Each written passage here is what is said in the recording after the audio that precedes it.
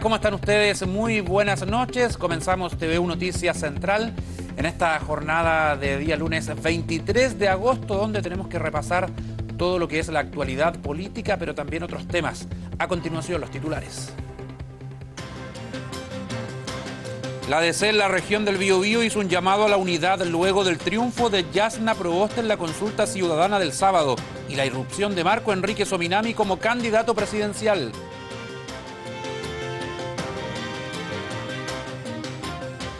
Gobierno lanzó Plan 18 Seguro Parte por Casa que fomenta el autocuidado y el respeto por los aforos en fondas y ramadas. Claro que estas están prohibidas en las fase 1 y 2.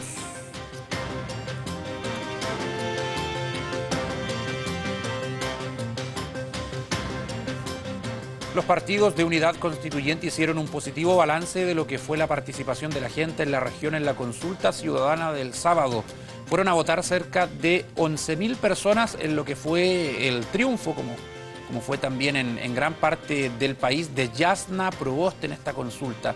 Un triunfo, una victoria que para algunos se ve un poco empañada por la irrupción de la candidatura presidencial de Marco Enríquez Ominami.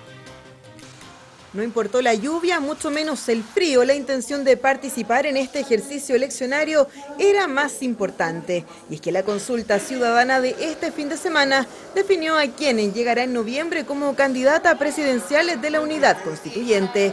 En el proceso a nivel regional se alcanzó una participación de 11.000 personas que llegaron a los 76 locales dispuestos en la zona. Para poder opinar hay que participar y ser responsable no solamente son derechos la democracia, sino también deberes. Y un deber es manifestarse cívicamente. Eh, comprometerme con la democracia, que es importante que todos votemos. Y el proceso estuvo fácil, expedito, un poco mojado, pero bien. Hay que ser responsable de las votaciones.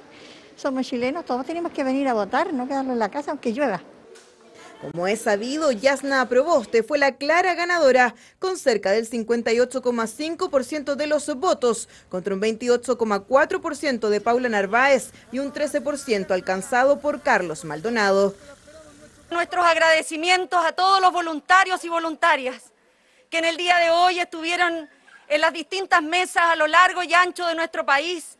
Agradecer a los miles de independientes que formaron parte de este proceso de consulta aquellos independientes que creen en las libertades, en la justicia y que tenemos que ser capaces de transformar todos juntos a nuestro país. Un proceso que los partidos se catalogaron como positivo y tranquilo. Sin embargo, esa tranquilidad se transformó más bien en tensión, luego que se conociera la candidatura de Marco Enrique Sominami, lo que podría generar un quiebre en la centroizquierda, aunque hay quienes se siguen llamando la unidad. Nos parece importante que no se pierda eh, esta unidad y ese es el llamado que hacemos. Acá nosotros hemos tenido un trabajo muy integrado en la unidad constituyente, hemos trabajado en conjunto desde el plebiscito y desde antes, eh, tenemos historias comunes de tal manera que por eso que creo que lo que necesitamos hoy día justamente es el máximo de unidad de las fuerzas progresistas del país. Si influye o no, se tendrá que ver y analizar en las próximas elecciones presidenciales del mes de noviembre. Bueno, y a las cero horas vence el plazo para inscribir candidaturas, principalmente para la elección presidencial. Y bueno, hay varios nombres que están eh, luchando por ser presidente o presidenta de Chile, algunos conocidos, otros no tanto. Vamos a revisar quiénes han mostrado interés por ser candidato a la moneda en el siguiente informe que preparó Javier Monsalves. El reloj avanza. A las 0 horas se vence el plazo para la inscripción de las candidaturas presidenciales y el 21 de noviembre se acerca a pasos agigantados, día donde el electorado volverá a las urnas a escoger un o una presidente para Chile. Periodo presidencial 34 de nuestra historia republicana y los candidatos no escasean, todo lo contrario, la prepapeleta tiene una variedad de opciones que se han sumado a esta carrera. Comencemos con quienes fueron la sorpresa en las primarias del 18 de julio. Aquí asoma uno de los más jóvenes candidatos, 35 años, el diputado magallánico de Convergencia Social, Gabriel Boric. Frente amplista y del pacto Apruebo Dignidad, se impuso al comunista Jadwe por amplia mayoría. Y si de sorpresa se trata, el otro que ganó las primarias en Chile Vamos es el santiaguino independiente Sebastián Sichel de 44 años, que se impuso a Desbordes, Briones y el eterno candidato presidencial Joaquín Lavín. También figuró como presidente del Banco Estado en el actual gobierno de Sebastián Piñera. La democracia cristiana ganó en la consulta ciudadana del pasado sábado, donde participaron cerca de 150.000 personas. Aquí asoma Yasna Proboste, de 51 años, que ganó la elección a Maldonado y Narváez, luego que los partidos no se pusieran de acuerdo para tener una candidatura única. Actualmente es la presidenta del Senado, puesto que dejará para enfocarse en su campaña. Quien nuevamente se aventura a llegar a la moneda como en las elecciones del 2013 y alejado de los partidos tradicionales es el ingeniero comercial de 53 años Franco Parisi, del Partido por la Gente, quien ganó en las primarias digitales de su colectividad para hacer la carta presidencial. En esta oportunidad se impuso a Catherine Alarcón y Marisol Morales. El mapuche Diego Ancalao sería el representante de la gente de la tierra. El oriundo de Purén es el candidato de la denominada Lista del Pueblo. Tiene 40 años y es profesor. Fue dirigente y participó en movimientos del PRI y juventudes de la DC para luego ser independiente. El ingeniero comercial Gino Lorenzini reunió más de 35.000 firmas para ser candidato. Nuevo en el aspecto político, pero reconocido por la creación de la fórmula Felices y Forrados, que asesoraba la administración de fondos de pensiones de sus socios. Y si su apellido se le hace familiar es porque es sobrino del diputado Pablo Lorenzini. Y representando a la derecha más dura, asoma al santiaguino de 55 años José Antonio Cast del Partido Republicano. Fue militante histórico de la UDI y volverá a ser protagonista en la elección de noviembre. Luego de los comicios del 2017, impulsó la colectividad Acción Republicana. Con 48 años de edad, el santiaguino cineasta Marco Enrique Sominami iría por su cuarta aventura presidencial. El fundador del PRO vuelve luego de los líos judiciales por el caso SQM y OAS y complica a la centroizquierda. Tic-tac. Tic-tac, el reloj avanza. ¿Quién más se sumará a la papeleta del domingo 21 de noviembre? Veremos qué pasa cuando llegue justamente esa hora de cierre y quiénes se inscribieron oficialmente como, como candidatos. Vamos a otro tema, una reunión que sostuvo el gobernador regional Rodrigo Díaz con el alcalde de Alto Biobío para analizar, entre otros, eh, o entre varios temas, eh, el de la seguridad y también una firma de convenio ahí para dar solución sanitaria a un problema que tienen en Alto Biobío. Fue mediante esta firma que se concretó la adquisición de un camión con equipo limpia fosas para la comuna de Alto Biobío. Un convenio que no solo beneficiará a más de 1.700 hogares de la zona, sino que también soluciona un problema de años donde la insalubridad era la protagonista. Tanto insistir, tanto golpear la mesa, hoy día recién voy a poder firmar ese convenio que es un camión limpia fosa, que es para un tema sanitario estamos en pandemia, estamos todos nosotros tenemos grandes necesidades que no están concretas, no están terminadas. ¿Por qué eh, nos han dejado de lado? Lo invisibilizan. Y eso es lo que no queremos, todo lo contrario. Y es que varias administraciones se debieron pasar para que se concretara este proyecto, cuya inversión supera los 110 millones de pesos, recursos aprobados por el gobierno regional, que comprometió no solo esta gestión, sino que trabajara aún más con esta localidad que aseguran está invisibilizada. Queremos conservar la paz social, no queremos abrir un segundo frente de problemas dentro de la región. Eh, entonces, lo que yo voy a hacer es hacerme cargo de lo que el alcalde está señalando, porque si se sienten invisibilizados es por algo. Eh, no es porque sí, no es una queja gratuita, es que uno tiene que tener la suficiente inteligencia y liderazgo para hacerse cargo de las demandas, particularmente de la gente que vive en condiciones más difíciles reunión en el Salón Mural que permitió ahondar en otras aristas. De comúnmente, estas imágenes corresponden a la provincia de Arauco. Atentados que llegaron también a Alto Biobío y del cual su alcalde hace un análisis al respecto. Siempre hay responsabilidades sociales en donde las empresas o empresarios podían perfectamente entregar a la comunidad y eso jamás ha ocurrido. Todo lo cobran. Me gustaría que fuera noticia nacional. ¿Cuánta agua nos han quitado? ¿Cuánta tierra nos han quitado? Y un derecho eléctrico que no está resuelto y así muchas otras demandas sociales que no lo tenemos resuelto y eso me preocupa. Demandas de mapuches y pehuenches, roles de las grandes empresas, falta de voluntad de política o poca preocupación. Es, sin duda, para estas autoridades uno de los temas a resolver, donde deben considerarse también las opiniones de todos los sectores.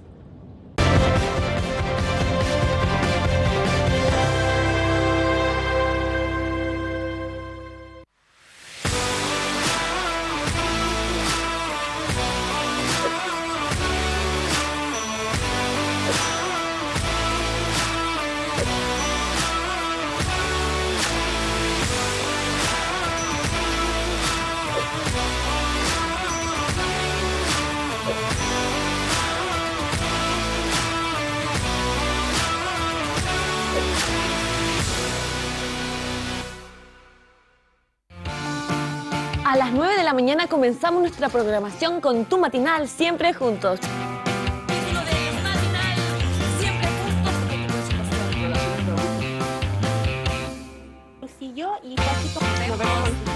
Luego, a las 11 de la mañana, informaciones, despachos, contactos en vivo y en directo. Todo lo que debes saber en la edición de mediodía de TV Noticias.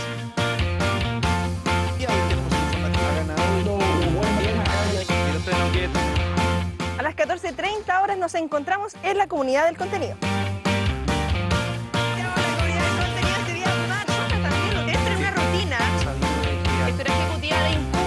Y para cerrar, un resumen informativo en TV1 Noticias, edición central a las 20 horas.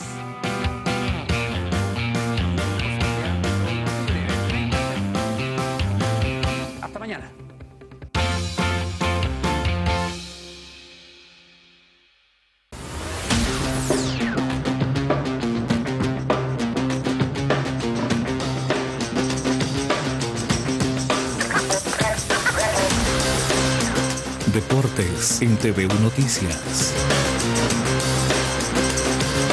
El lunes de deportes, como siempre, en TVU Noticias. Y hoy nos acompaña Carlos Campos, a quien saludamos de inmediato, periodista del diario Concepción. ¿Qué tal, Carlos? ¿Cómo te va? ¿Qué tal, Francisco? Buenas noches. ¿Todo bien por acá? Harto por repasar en materia deportiva. Sí, vamos a hablar íntegramente de fútbol masculino y femenino. Empezando por este equipo que viene en una racha muy positiva, ¿eh? Huachipato, que anotó un triunfo increíble el fin de semana, Carlos. Sí, un triunfazo de Huachipato que lo saca de la zona de descenso directo. Le ganó ayer 2 a 1 a Deportes Melipilla en condición de visitante, algo que le venía costando mucho justamente a Huachipato. Le gana con goles de Benjamín Gaxol, un defensa central, que una patriada increíble ahí en comenzando el segundo tiempo.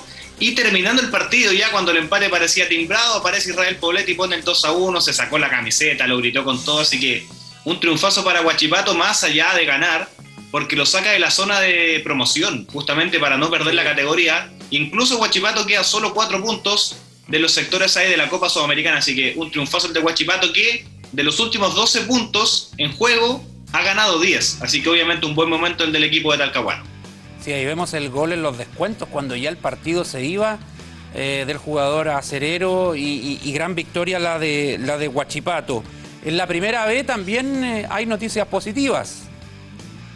Sí, sí, positivas sobre todo por lo que hizo Fernández Vial ayer por la tarde en Collao enfrentando al puntero del campeonato, a Deportes Santa Cruz. Se enfrentaba a un rival de grandes pergaminos, el equipo urinegro que tuvo a casi 3.000 hinchas en las tribunas eh, muchos llegaron sobre la hora, pero tuvo gran apoyo ahí el Vial de una cancha, como vemos, en muy pero muy malas condiciones. Lo ganaba cómodamente con gol de Kevin Harbottle, como vemos ahí en, la imagen justamente. Lo empata el rival Santa Cruz con un penal, la verdad, inexistente, que solo el árbitro pudo ahí apreciar. Y ya sobre el segundo tiempo se fue con todo Vial buscando el triunfo. Obviamente era el único resultado que le servía en pos de salir de la parte baja de la tabla. Lo encuentra con ese remate de Carlos Chirigüe Sepúlveda la aparición fantasmal de Patricio Jerez y terminaron igual sufriendo con un jugador menos sobre los últimos 15 minutos con un tapadón de Gustavo Merino que había tenido un partido ingrato a mitad de semana contra Copiapó. El Vial logra cerrar una gran semana, le gana Gusti Colea 5-2 contra Copiapó justamente, le gana 2 a 1 a Santa Cruz y, y, empieza por ahí a respirar más tranquilo en la parte baja de la tabla. Sí, espectacular lo de Vial y todavía le quedan varios partidos pendientes. Y la UDEC jugó el viernes, si no me equivoco. ¿Cómo le fue, Carlos?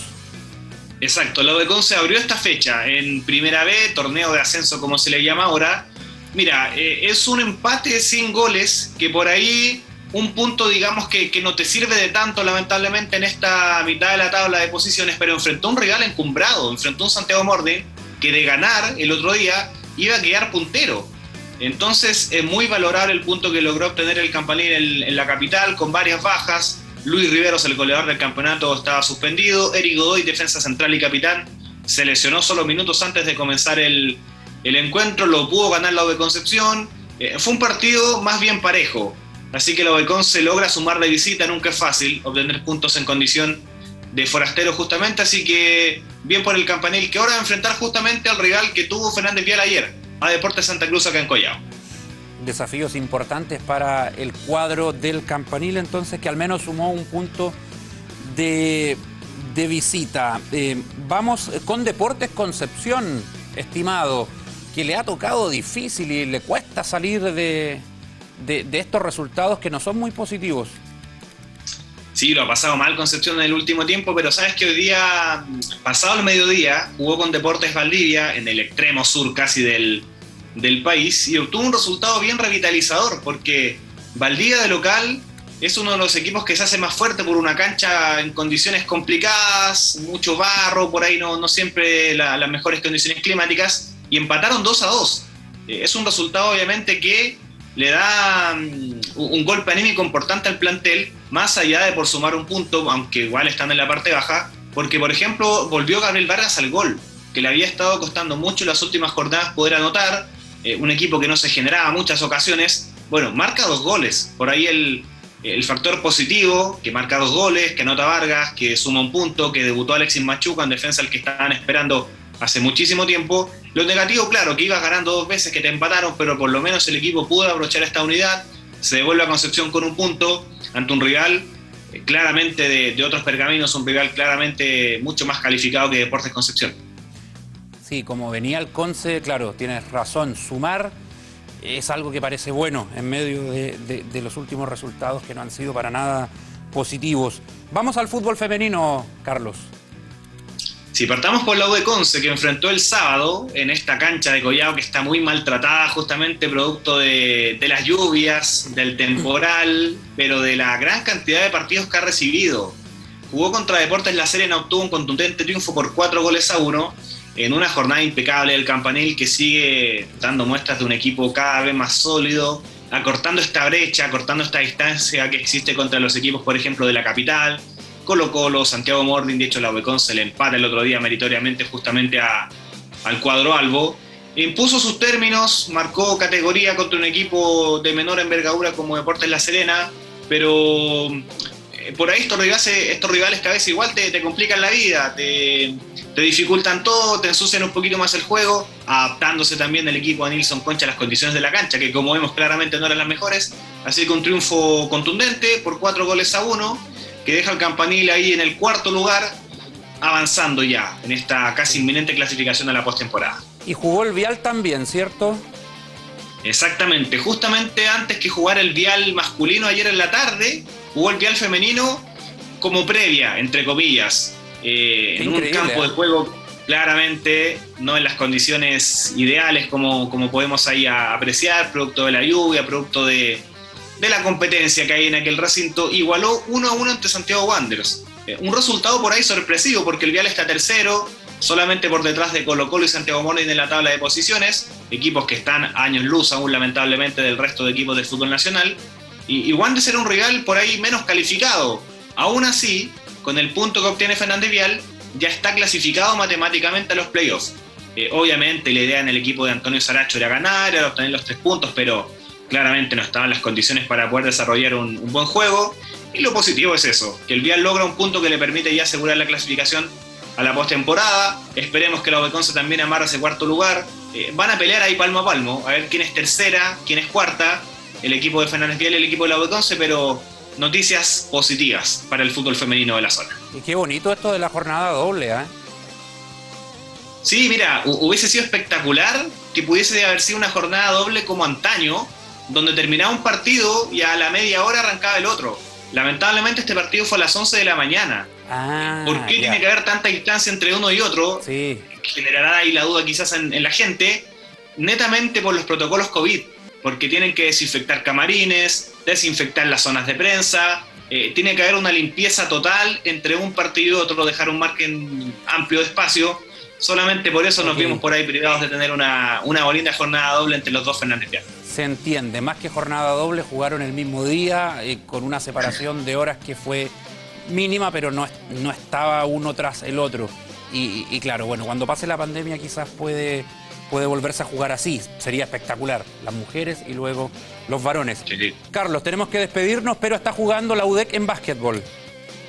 Sí, partido en desarrollo entre la UDEC 11 y Colegio de los Leones, válido por la final de la conferencia centro, justamente de esta Liga Nacional sí. eh, Cestera. La UDEC 11 se impuso 2 a 0 en los duelos de ida jugados en la Casa del Deporte, aunque es una ventaja importante claramente, pero los partidos fueron muy apretados. Así que está en pleno desarrollo el partido que Perfecto. se juega ya en, en Quilpuente, la y Colegio de los Leones. Vamos a estar atentos a cómo le va el campanil, que ojalá se consagre campeón el equipo de básquetbol de la UDEC de su conferencia. Muchas gracias, Carlos Campos, por tu comentario.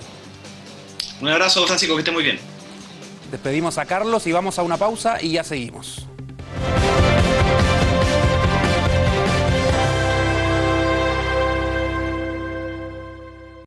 Sí, sabes que llevamos un rato cuidándonos. Tenemos que salir de esto hoy. A un medrito, abre tus ventanas 30 minutitos. Tres veces al día, aunque esté fresquito. Pa' que se vaya luego este bichito. Sigamos cuidándonos. Ministerio de Salud, Gobierno de Chile.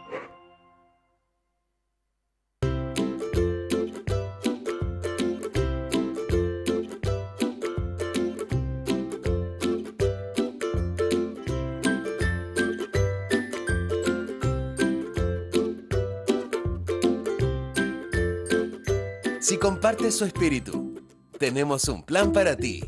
Nuevo Plan Emprendedor Mundo Pacífico.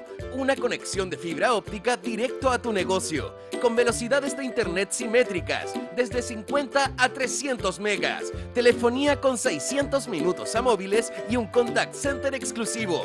Contrata ahora llamando al 600 9100 200 y dale velocidad a tu negocio.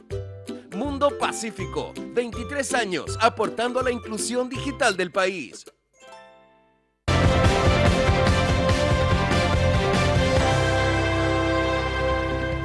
Vamos a hablar de lo sanitario porque hay un brote de COVID en el Hospital Regional de Concepción y ha causado preocupación, con 52 casos confirmados y 39 contactos estrechos, más allá de que los números y las cifras y la condición han ido cambiando, pero lo ha confirmado la Seremi de Salud de la región, de un brote de COVID en el área de medicina del Hospital Regional Guillermo Gran Benavente. En un principio se hablaba de 52 casos confirmados, 39 contactos y además se habla de una persona fallecida. Ya eh, hay 17 eh, eh, activos en este brote, ahí está la información más actualizada. Hay 17 casos activos que corresponden a este brote. Cabe mencionar que la región del Biobío hoy sumó 65 casos nuevos de coronavirus. Vamos a um, revisar lo que dijo la Seremi de Salud subrogante en torno a este brote en el Hospital Regional de Concepción. En relación al, al, a lo particular del brote de medicina, hay 52 casos, como bien dices, pero también cabe destacar que hay de ese, de ese brote actualmente solo 17 activos. ¿Ya? Eh, en cuanto a eso, nosotros cada vez que existe un brote, nosotros también asistimos con visita en terreno a cada uno de los sectores y hacemos distintas exigencias, entre ellas búsqueda activa, por lo cual la búsqueda activa es constante y también en casos particulares también se toman otro tipo de medidas. Sí, queremos mencionar también que la comuna de Penco anotó un retroceso el día de hoy, según lo comunicó el MinSal, retrocede Penco a fase 3 del plan paso a paso.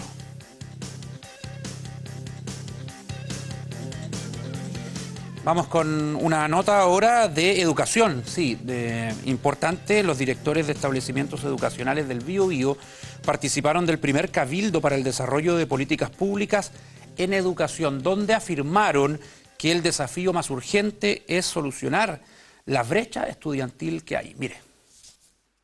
A un año y medio de la pandemia son muchos los sectores que se han visto afectados. Uno de los más complicados es la educación, sobre todo la pública, que antes del COVID ya tenía varios problemas.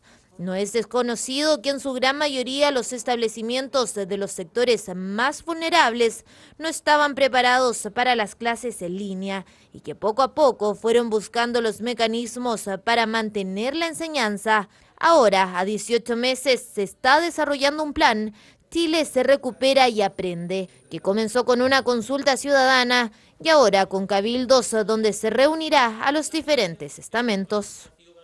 Todos estos cabildos van a recoger la opinión de todos los estamentos de los establecimientos educacionales y esto va a converger finalmente en una mesa de expertos los cuales van a elaborar y desarrollar, basado en lo que nosotros recogimos en estos cabildos, políticas públicas para la recuperación de aprendizaje de nuestros estudiantes de acá a los próximos cuatro años. Los cabildos comenzaron este lunes 23 de agosto con directores de establecimientos del Servicio Local de Educación, municipales, subvencionados y particulares de la región del Biobío. Una de las principales preocupaciones fue la brecha estudiantil, que con la pandemia aumentó de manera importante. Según una encuesta de la ONG Educación 2020, un 44% de los escolares chilenos indicó que el año pasado aprendieron poco o nada. Lógicamente que nos preocupa recuperar el tiempo perdido. Hay estudios de la Organización de Estado Iberoamericano, por ejemplo, que dice que esto debería demorar por lo menos unos 10 años en recuperar. Pero también eh, el mayor énfasis lo colocamos en la preocupación por la persona humana. Yo creo que tenemos, lo primero que hacer es preocuparnos de nuestros estudiantes, de la salud mental de ellos y de nuestro personal. Otro aspecto fue en relación a los recursos de la comunidad estudiantil, y es que con la emergencia sanitaria quedó en evidencia la falta de acceso a los implementos para el desarrollo de las clases desde los hogares. Hoy en día la diferencia se ve. Eh, muchos no tienen, digamos, eh, los recursos en, los hogares, no cuentan con internet todavía. Yo, eh, mi colegio es servicio local, digamos, es público y hay diferencia entre las estudiantes, entonces apoyarla, apoyar para que todas esas estudiantes cuenten con los mismos recursos y también apoyar a los profesores, porque también eh, eh, no tienen un buen sistema de internet, hay que apoyarlos con BAM, con dispositivos internet. Los cabildos se realizarán hasta el próximo 3 de septiembre para que al igual que los directores, los profesores, apoderados y alumnos expongan sus opiniones. Luego avanzarán a que una mesa de expertos analice y evalúe los resultados de las instancias anteriores.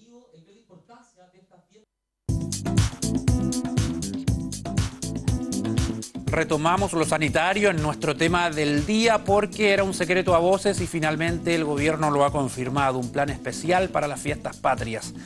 18 seguro parte por casa. Así se llama el plan que dio a conocer el Ejecutivo esta jornada con el Ministerio de Salud en específico.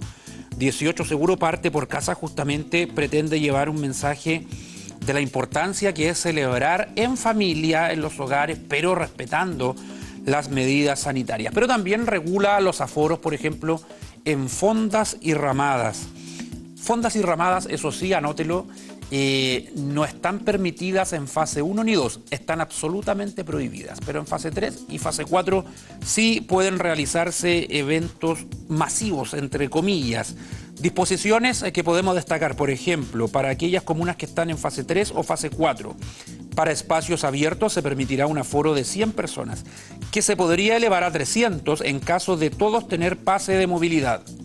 Para espacios cerrados se permitirá un aforo de 50 personas, que se elevará a 100 en caso de tener todos pase de movilidad. Lo importante es que el total del aforo no podrá exceder de una persona por cada 6 metros. Vamos a escuchar lo que señaló en el punto de prensa el día de hoy, en el reporte del MinSal, el ministro Velolio, en torno a este plan 18 seguro parte por casa. El plan de este año, a diferencia del año pasado, se llama 18 seguro parte por casa. Y su pilar principal es el llamado a celebrar con las familias, los amigos, los barrios, las comunidades inmediatas, que no solo son el núcleo de la sociedad, sino que también son los espacios que mejor pueden garantizar la protección respecto del virus. Se van a mantener las medidas de autocuidado como la mascarilla, el alcohol gel, la distancia social y la ventilación de espacios, que es muy importante. También el pase de movilidad será el instrumento para entregar mayores libertades.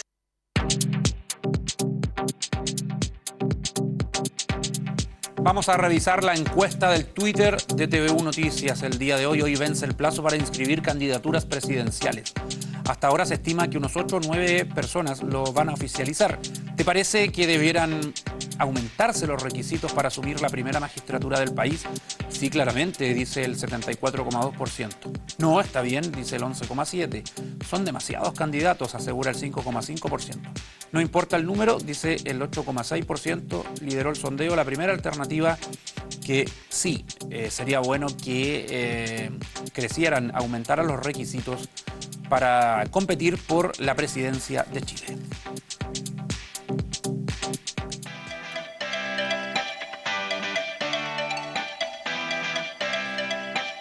Vamos con el tiempo para mañana. Concepción y la provincia penquista despejado con una máxima de 12 grados.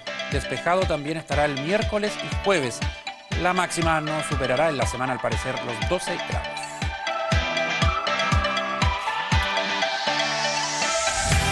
Los Ángeles y la provincia de Biobío. Despejado este martes con una máxima de 10 grados y la mínima, a ver frío allá, eh, un grado bajo cero. Parcial miércoles y jueves, máximas entre 11 y 12 grados.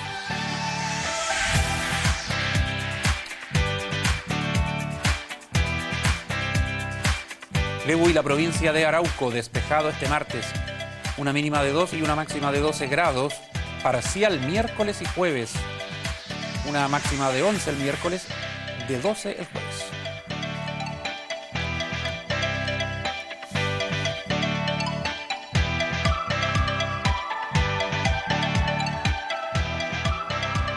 Con el tiempo terminamos este TV1 Noticias edición central. El primero de la semana, mañana 20 horas nuevamente un informativo y en la mañana también a las 11 horas los espero con TV1 Noticias matinal. Muchas gracias.